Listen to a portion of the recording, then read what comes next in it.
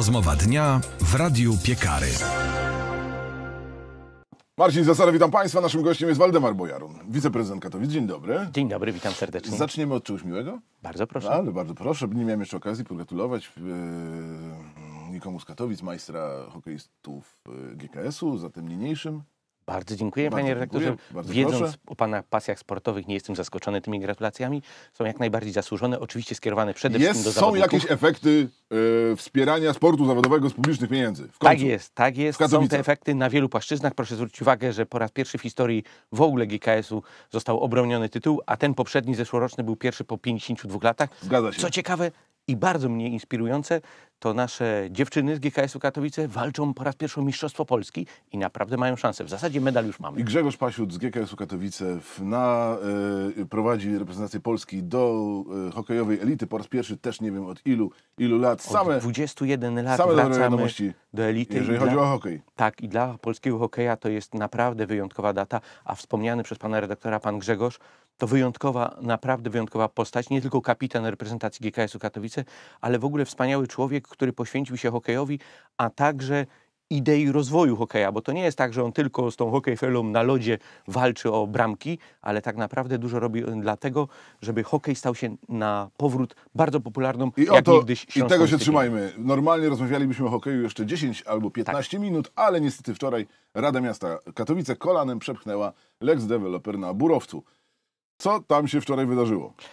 Panie rektorze, sesja została zwołana w tematach budżetowych, bo to trzeba podkreślić, że nie była to specjalnie sesja zwołana pod ten temat, tylko tematy No, ale budżetowe. dokleiliście ten Lex Developer. Tak, i to wynika z jasnych przepisów, które mówią i zobowiązują Radę Miasta do procedowania w określonym terminie.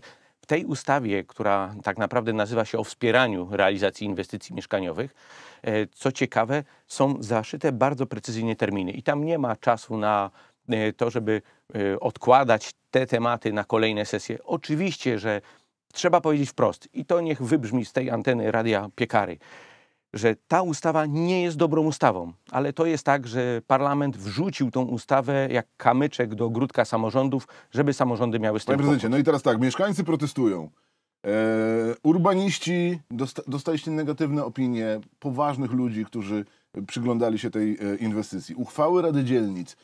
Nie wiem, kto popiera jeszcze tę inwestycję w ogóle w Katowicach, oprócz inwestora i jak pokazuje wczorajszy przykład władz Panie Katowic. redaktorze, te inwestycje są popierane przez wszystkich, którzy są nastawieni prorozwojowe. Cały czas, pan redaktor się musi ze mną zgodzić, podstawowym wyzwaniem miasta Czyli to Katowice, pan, prezydent, podstawowym wyzwaniem miasta Katowice jest co?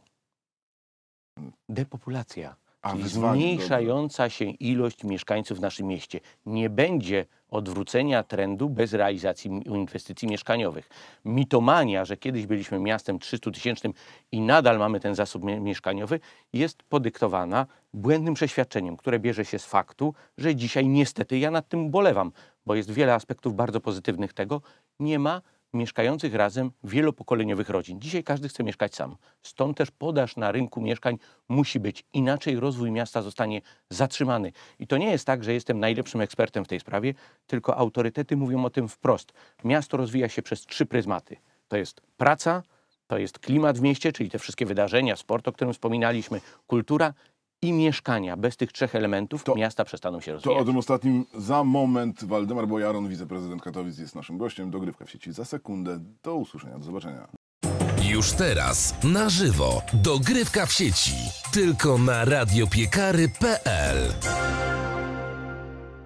Marcin Zasada, witam ponownie. Waldemar Bojarun, wiceprezydent Katowic jest naszym gościem. Po raz drugi pana i państwa witamy. E, Doktor Łukasz Drozda, panie prezydencie, Uniwersytet Warszawski, książka o patodeweloperce. Słyszał pan? Głośna pozycja w ostatnich. Chyba miesiącach. y, rozumiem, panie redaktorze, że pan doktor opisuje problemy, jakie ma Warszawa. Wystarczy pojechać i zobaczyć. Ja tych Polsce. problemów w To ja- Katowicach to nie cytat, dostrzegam. cytat pana doktora Drozdy. Bardzo dobra książka, polecam. E, ciekawie śledząca, pokazująca pewne e, procesy, które widzimy e, w naszym kraju. O tym właśnie osiedlu, który pan mówił, ma e, walczyć, sprostać wyzwaniu e, depopulacyjnemu w Katowicach. Jest to tak absurdalny projekt, że aż żałuję, że nie znalazł swojego miejsca w mojej nowej książce o patodeweloperce, bo z pewnością by tam to pasowało, mówi doktor Drozda. Panie rektorze, myślę, że pan doktor Drozda nie był w Katowicach nigdy. Serdecznie zapraszamy. Niech zwiedzi ten teren. Po pierwsze, trzeba powiedzieć wprost, raz jeszcze nawiążę do samej ustawy, która jest takim kukułczym jajem przerzuconym samorządom. Proszę zwrócić uwagę, że tam jest prosty zapis. Ta ustawa powstała po co? Po to, żeby zabudować mieszkaniami tereny pokolejowe, powojskowe, poprzemysłowe.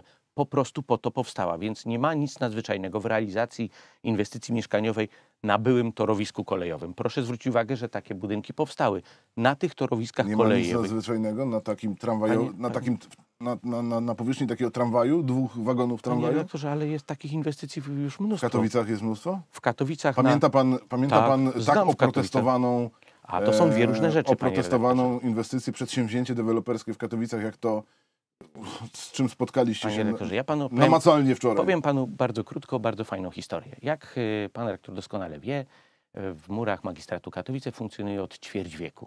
Niedawno minęło 25 lat, a w administracji w ogóle już 30. Pamiętam doskonale czas, kiedy najbardziej oprotestowywane inwestycje to były jakie? Hipermarkety. Zanim zaczął się czas hipermarketów, każda inwestycja, jaka powstawała, to jest koniec lat 90., nie tak odległe dla nas obu jeszcze te terminy. Jakakolwiek inwestycja by nie powstała, czy to budowana przez samorząd, czy przez prywatnego inwestora, była witana entuzjastycznie przez mieszkańców. Potem pojawił się czas, że hipermarkety były oprotestowane. Za dużo marketów, gospodarka nam wysiądzie, małe sklepiki upadają. Te argumenty pamiętamy, panie redaktorze. Otóż miasto zrobiło bardzo konkretne działanie, słynna akcja Stop Hipermarketom. W planach zagospodarowania przestrzennego zaczęliśmy eliminować te wielkopowierzchniowe powyżej 2000 metrów. Kiedy zajmiecie się patodeweloperką, jak niech mówi pan doktor Drozda. pozwoli skończyć. To jest dobra historia, która udowodni, jak wygląda rozwój miasta. W momencie, kiedy miasto zatrzymało ten rozwój, powstały hipermarkety tuż obok granic miasta. Proszę zobaczyć, one stoją do dzisiaj. I Jaki jest z tego morał, panie prezydencie, w Taki- kontekście Burowca? Taki, że wcześniej czy później rynek sytuację jasno e, wyklaruje. Te, które powstały niepotrzebnie, jak na granicy Sosnowca i Katowic, zostały zlikwidowane. Ale wy macie na to, czy, czyli co, również w tej sytuacji rynek Nie. zweryfikuje, czy ludzie będą chcieli tam mieszkać, czy nie? To, to sugeruje? pokazuje coś innego, panie rektorze. Proszę zobaczyć na to, że mieszkania nie buduje się po to, żeby one powstały. One służą mieszkańcom. I tak długo, dopóki jest siła nabywcza, sprzedają się na rynku, a mimo kryzysu popandemicznego i wojennego, który rynek inwestycyjny jednak schłodził w naszym kraju, to proszę mi zaufać.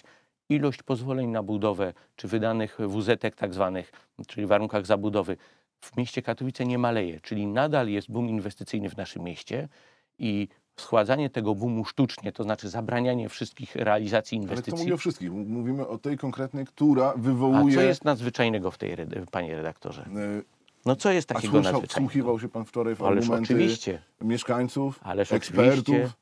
I kto, któryś pan do pana... Ekspertów wczoraj nie słyszałem. Znaczy cytowanych przez, przez, e, przez protestujących. To, to można Był znaleźć. cytowany jeden ekspert, jeden z grona dużej komisji, która też zajęła stanowisko w takich, też zajmuje stanowisko to inaczej. To kto, kto w zeszłym roku, niemal dokładnie rok temu w imieniu Katowic podpisywał porozumienie e, dotyczące Welostrady mającej połączyć Panie Katowice i Sosnowiec? Porozumienie ma charakter, o czym wyjaśnione Kto było. podpisywał? Ja podpisywałem Ja. i dotyczyło, panie redaktorze, szkieletowego połączenia rozwiązań e, rowerowych dla metropolii. I tam już na tym spotkaniu, bo byłem na nim osobiście, panie redaktorze, było podkreślone, że to ma charakter koncepcyjny.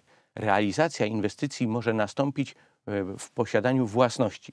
Drogę można zbudować tak zwanym zridem, czyli posiadając połączenie drogowe i koncepcji do realizacji. Natomiast drogę rowerową, czy welostradę, musimy zrealizować mając działki. Wie pan, ilu jest właścicieli działek na tej nieruchomości, która była wskazana przez metropolię? 150? 150 właścicieli działek? Tak, To co przeróżnych wy działek. podpisywaliście? Co pan podpisywał w takim Podkreślam, razie? jest- Jakie porozumienie, Panie rektorze, jeżeli wiedzieliście o tym, e, To bardzo z jakimi dobre problemami pytanie. właścicielskimi wiąże się realizacja tej inwestycji w tym miejscu? Wiadomo było, że Jeszcze mówimy o tym miejscu. podkreślam, koncepcyjne wyznaczało kierunki podjętych działań.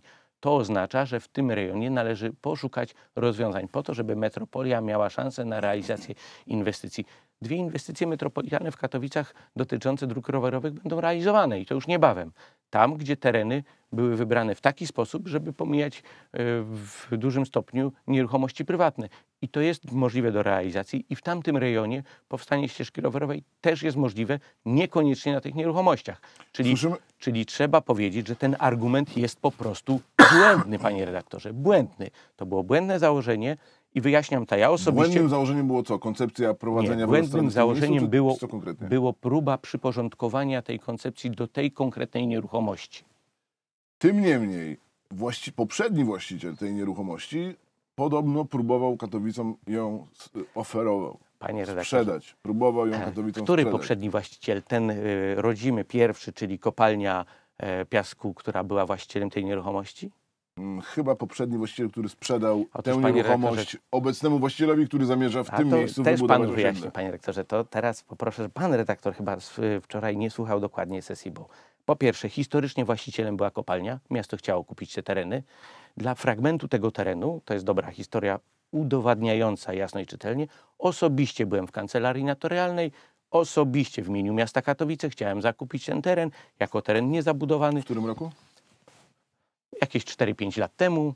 Kancelaria notarialna to jest ewenement, bo filozofia wygląda tak. Jeśli sprzedawana jest nieruchomość niezabudowana, to taki akt trafia do miasta, które ma tak zwane prawo pierwokupu. To umożliwia miastu nabycie właśnie nieruchomości, która może być potrzebna pod budowę szkoły, drogi czy ścieżki rowerowej.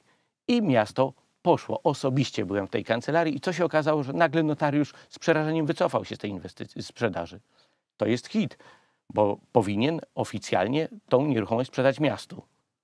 Ale udowadniano potem, że te nieruchomości są jednak zabudowane, bo jest główka szyny i etc., po to, żeby to nie trafiło do miasta. Bardzo ciekawe rozwiązanie. Ale jeśli pan pyta o poprzedniego właściciela, to jest konkretna firma, e, która, i to było powiedziane wczoraj na sesji przez stronę społeczną, bo to precyzyjnie wyjaśnię, że e, ta firma chce sprzedać część tych nieruchomości miastu.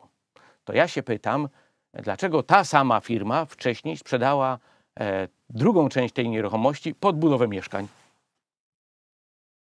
No i panie redaktorze, i tu mamy odpowiedź. Otóż e, protest społeczny jest, bo ja nie twierdzę, że go nie ma. Oburzenie społeczne dla tej części mieszkańców też się pojawiło. to wszystko w porządku, tylko czemu, Ale nie, argumenty, czemu, czemu, panie- tego, czemu tego protestu, Ale, w ten proces się nie wsłuchujecie? Ale wsłuchujemy się, tylko o, pokazuję panu, że te argumenty nie są trafione. Pierwszy o Welostradzie jest kompletnie nietrafiony, drugi o rzekomej konieczności to, sprzedaży. którędy, to którędy ta Welostrada ma, ma e, przebiegać w Panie takim razie? jak pan- Pamiętając jeszcze raz, że wy podpisywaliście, pan sam osobiście podpisywał z Metropolią porozumienie w tej sprawie. To kto? Obok nieruchomości ma miasto. To proszę sobie wyobrazić e, tą realizację na nieruchomościach miasta. Mało tego, trzeba powiedzieć wprost. I jeszcze odwołam się do tego, co pan redaktor był uprzejmy powiedzieć na wstępie, że pan doktor z Warszawy mówi, że to jest nietrafiona e, realizacja inwestycji. Pato deweloperka. Mhm, ciekawe. A wie pan, jak wygląda ta część w ogóle miasta? To jest tak. Jest centrum dzielnicy, duże tereny e, zupełnie niezabudowane, na której głównie są haszcze i potem część zabudowy już zrealizowanej. Realizacja właśnie w tym całym paśmie budowlanych inwestycji mieszkaniowych staje się priorytetem miasta. Tam obok powstaje kolejne osiedle, wcześniej powstało jeszcze kolejne osiedle. To jest teren idealny pod zabudowę, dobrze skomunikowany. I tu jeszcze jeden bardzo dobry argument, który wczoraj o dziwo ze strony społecznej nie padł, bo wie pan, ja sobie zadałem trud, żeby porozmawiać w dzielnicy, naprawdę jakie jest odczucie, bo pan mówi o dużym proteście, ja mówię, że ten protest jest jedynie dobrze zorganizowany i tu oddaję szacunek organizatorom. Natomiast wcale nie jest taki duży. Dlaczego tak uważam? Dlatego, że rozmawiając między innymi z dyrektorem szkoły, zapytałem go wprost, jak on widzi to przez pryzmat rozmów z nauczycielami i rodzicami uczniów. I dyrektor szkoły jest bardzo zainteresowany rozwojem tej dzielnicy właśnie przez budowę mieszkań. A co pan myślę, że panu powie, pr- pracodawcy swojemu? Powie, Proszę. nie, panie prezydencie, co wy tam robicie? Panie redaktorze, proszę Pato na to popatrzeć inaczej. My mamy PDN-y puste, czyli mamy sale lekcyjne puste, mamy y, nauczycieli, którzy nie mają etatów, więc rozwój miasta jest chwileczkę. idealnie do- Rozwój miasta bardzo pięknie, ale w Katowicach buduje się mieszkań więcej niż gdziekolwiek na Śląsku, to... To e, chyba dobrze, panie redaktorze. Ale czy ja powiedziałem, że źle? Natomiast, To cieszę się, że się zgadzamy. natomiast w, żaden, sp- znaczy w żaden sposób, na pewno nie w tak satysfakcjonujący, jak pan oczekiwał, nie rozwiązuje to problemu wskazanego przez pana depopulacji. Rozwiązuje, panie redaktorze. Ilość mieszkań, które trafia na rynek i które cały czas się wypełnia, jest właśnie rozwiązaniem tego problemu. Tak czy inaczej, e, postanowiliście nie, nie wejść na ścieżkę kompromisu z mieszkańcami, którzy protestowali w tej sprawie, a Panie redaktorze, i kompromis też tam jest. Kompromis jakoś polegający przy- na czym? Aha, że A. powstaną sześcio, e, Tak, sześciopiętrowe. panie rektorze, bo powstanie sześciokondygnacyjnych budynków w bezpośrednim sąsiedztwie e, domów e, jednorodzinnych czy domów tam jednopiętrowych byłoby złym rozwiązaniem. Natomiast powstanie podobnych szeregowców, jak stoją szeregowce na osiedlu tam tak zwanym mroźnym, jest Zimowym. uważamy zimowym. Ulica Mroźna y, jest rozwiązaniem jak najbardziej trafionym. Tak czy inaczej, teraz w rękach wszystko, wszystko to w rękach wojewody. Tak? Kolejny krok. Wie pan, ja myślę, że to jest jeszcze kwestia e, Zresztą jak pozwolenia wiele, budowy. wiele, wiele, bo- wiele i różnych rzeczy w Katowicach. Tak, ale proszę w rękach wojewody. Proszę zwrócić uwagę, panie rektorze, że to wygląda w ten sposób. E, Podjęta uchwała Rady Miasta jedynie umożliwia rozpoczęcie procesu inwestycyjnego, ale od tej, od tej części dokumentacyjnej, czyli dopiero przed inwestorem konkretna działania dotyczące przedłożenia projektu, zgodności, uzgodnień wszystkich tam e, komunikacyjnych, poszczególnych dla realizacji tej inwestycji, więc jeszcze długa droga. Co jeśli woje- wojewoda nie będzie miał skrupułów z utrąceniem tej spektakularnej inwestycji, tak jak e, nie miał skrupułów chyba dwukrotnie w Chorzowie, też e, przy okazji spornej deweloperskiego, spornego deweloperskiego przedsięwzięcia. Ale chyba w Chorzowie na terenie pokolejowym mieszkania już powstały. Tak, w rejonie Chorzowa Batorego. No, ale chyba nie takim terenie pokolejowym. Tereny pokolejowe i tereny pokolejowe redaktorze- często różnią się od siebie. Ten jest wyjątkowy rzeczywiście. Do- dokładnie jest, tak. Jak, jaka tam jest, e, e, jaki tam jest bok tej działki, ten, ten, ten węższy? Jaka, Panie rektorze, na pewno zgodny z przepisami prawa budowlanego 30 umożliwiający realizację. Ale u nas na terenach pokolejowych, w rejonie osiedla Witosa, to też jest, wie pan, ciekawostka, bo ja analizuję to tylko bez emocji, przez pryzmat samej realizacji. Na poprzedniej e, sesji Rady Miasta, Rada Miasta była bardzo zgodna na, w temacie realizacji innej inwestycji e, realizowanej w tym samym trybie, na e, również tym samym terenie pokolejowym w rejonie osiedla Witosa. Część budynków już stoi, kolejne powstaną. Nie wzbudza to żadnych osiedla, emocji. pan, osiedla kolejowe były, ale to jest teren dawnego Jeszcze raz, wąwozu kolejowego. No to jest, A był pan, pan kiedyś na osiedlu Witosa? Oczywiście. A pamięta pan taki wąwóz kolejowy, taki wielki nasyp kolejowy? No to zapraszam. Nie ma I już co? nasypu kolejowego, są budynki mieszkaniowe.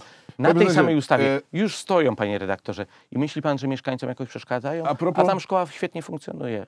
Nie ma problemu z naborem. Miasto E, się rozwija. Czy, a propos wojewody i tego, że wszystko e, ostatnio w Katowicach w rękach Jarosława Wieczorka. Tabliczka na placu Szewczyka łamane przez Kaczyńskich zdjęta. Pytanie jakim prawem? Panie redaktorze, widzę, że pan jest fascyna e, fascynatem tego tematu, bo przysłuchując się pana rozmowom z ostatnich tygodni, e, mam wrażenie, że to pana ulubiony temat. Ale Myślę, ulubiony... że z ostatnich tygodni, czyli dwóch, trzech, to może ze dwa razy ten temat poruszyliśmy. S- Jakoś tak trafiłem się na pan, antenę. Być może. Dziwi się pan, że to jest e, interesujący temat w Katowicach? Oczywiście to jest interesujący temat. Dla mnie powiem panu redaktorowi w ten sposób. Jeśli by pan mi zadał pytanie, czy uważam, że Lech i Maria Kaczyńscy powinni być uhonorowani placem czy ulicą w mieście Katowice. Katowice, uważam, że jak najbardziej Czemu tak. tego nie zrobiliście, kiedy mieliście okazję?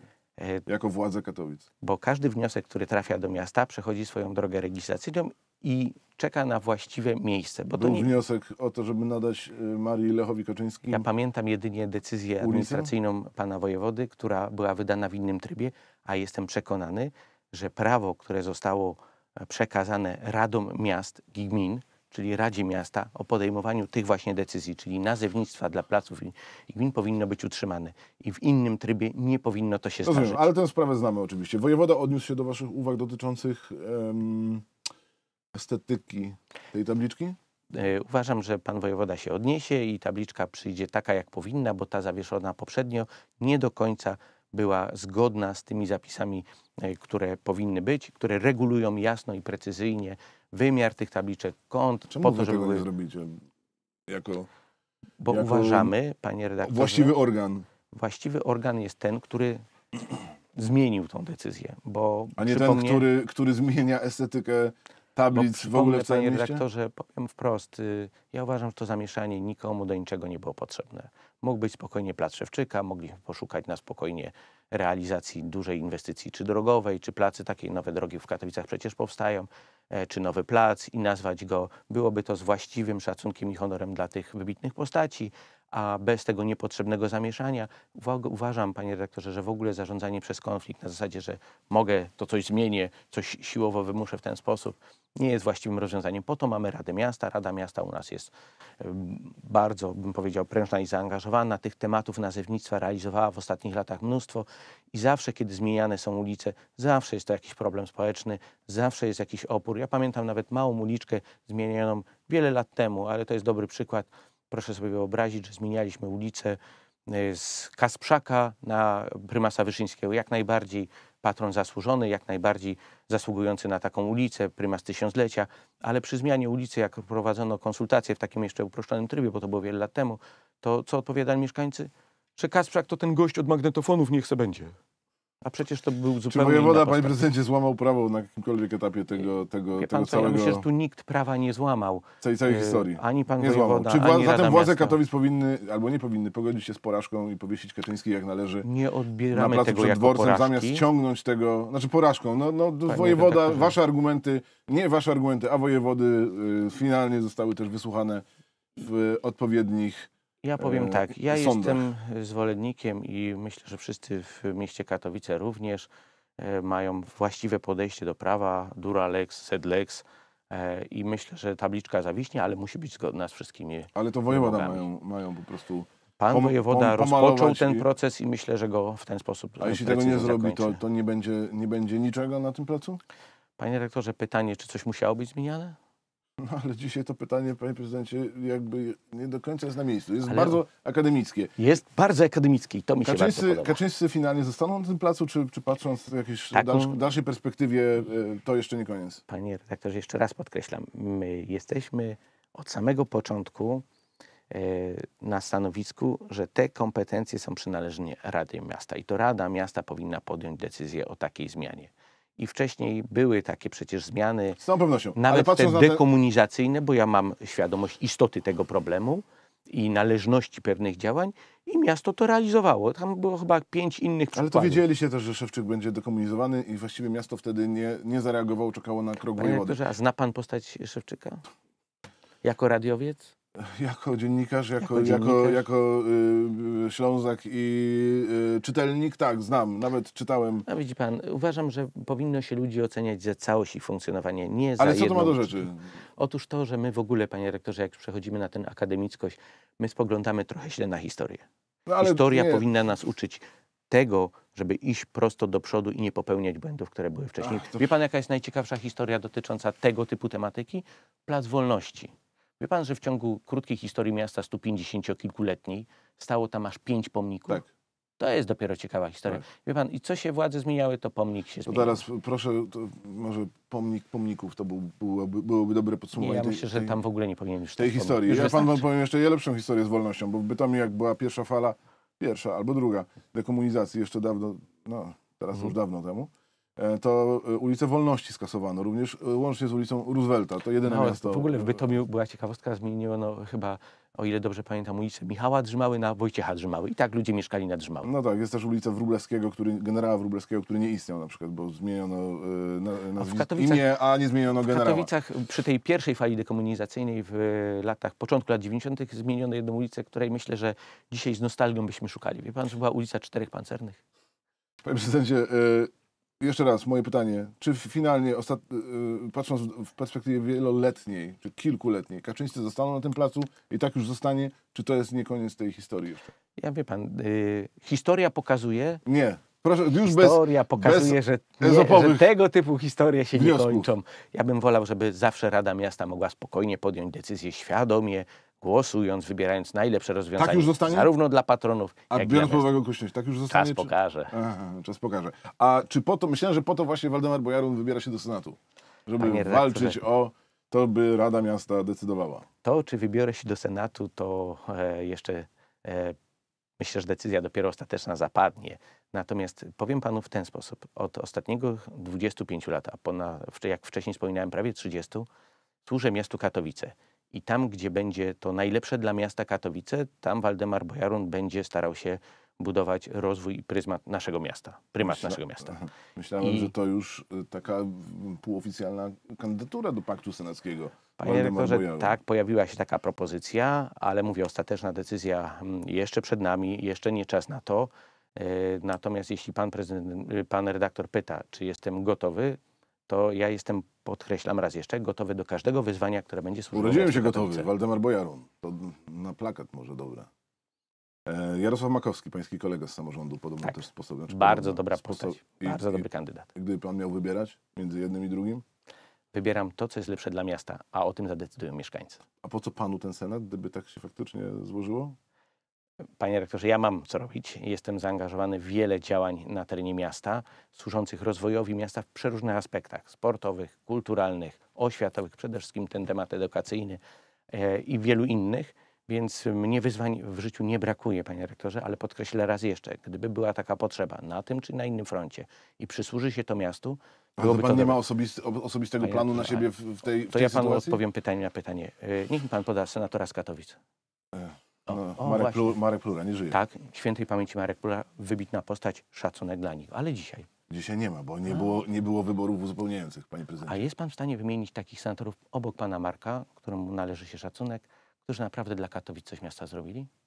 Mm, No, O, ciężko, Marek, nie? Marek Plura... Wie pan, ja to pytanie często zadaję mieszkańcom Marek. Plura Marek Plura tak. chorował, nie, wie Mimo wszystko, miał trochę, ale był, miał trochę problemów. był wybitnym człowiekiem e, No tak, no to i to chyba jedyny, nie? Przez tyle lat. A no tak, ale wie pan, jak pan popatrzy trochę szerzej na ten krajobraz polityczny, to Prawo i Sprawiedliwość zdaje się nie ma posła z Katowic. E, Platforma Obywatelska, w, a przypomnijmy, że okręg poselski jest znacznie szerszy, Wie bo pan, senacki to są tylko Katowice. świetnie, że do pan Platforma Obywatelska ma chyba jedną posłankę, z Mhm. no Tak. dwie w tej chwili posłanki z Katowic. No jedną znam. Dwie. E, w każdym- Monika Rosa, Ewa Kołodziej.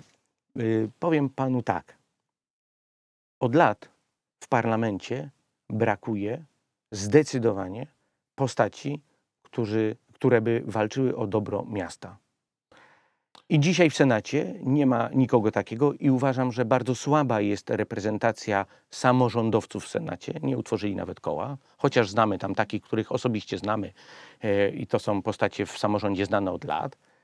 A ja uważam, i mówię o tym zupełnie otwarcie, ale jako przyszłościowa, e, bym powiedział, koncepcja, bo jeśli by pan mnie zapytał, czy mam jakieś pomysły na to, co powinno się zmienić, e, to przede wszystkim jednosystemowe rozwiązanie. Wie pan, mnie się marzy Senat jako rzeczywiście izba reprezentantów samorządów. Takie rozwiązania na świecie funkcjonują. pan e, e, swojego dobrego znajomego, szefa byłego, Piotra Uszoka nie namówił, żeby... To świetna propozycja, na pewno lepsza ode mnie.